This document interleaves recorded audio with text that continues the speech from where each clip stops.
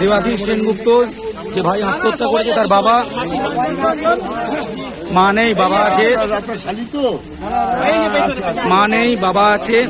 এই ছেলে আত্মহত্যা করেছে, একটা মাত্র ছেলে। একটা মাত্র ছেলে বাঙালি দেবাশী সেনগুপ্ত আত্মহত্যা করেছে।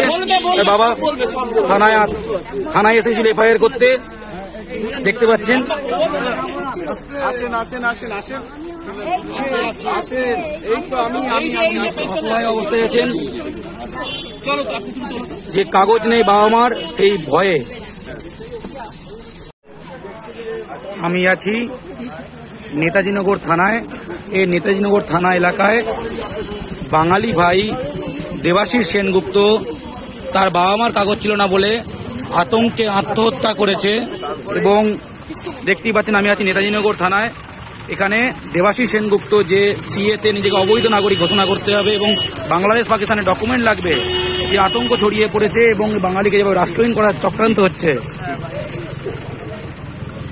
বাবা মা ডকুমেন্ট ছিল না বলে ভয়ে আত্মহত্যা করেছে দেবাশিস সেনগুপ্ত।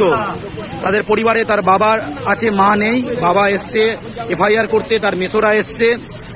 করুণ কাহিনী বাঙালি আত্মহত্যা নয়, এটা খুন। এভাবে বাঙালিকে, বাঙালি রক্তে স্বাধীন ভারতে বাঙালিকে কাগজ দেখাতে বলা হচ্ছে, নিজেকে অবৈধ নাগরিক বলতে বলা হচ্ছে, বাংলাদেশ বা পাকিস্তানে কাগজ চাওয়া হচ্ছে, তাতে করে এটা বলা যায় যে খুন হয়েছে আমাদের ভাই, এই খুনের বিচার চাই, খুনের বিচার চাই।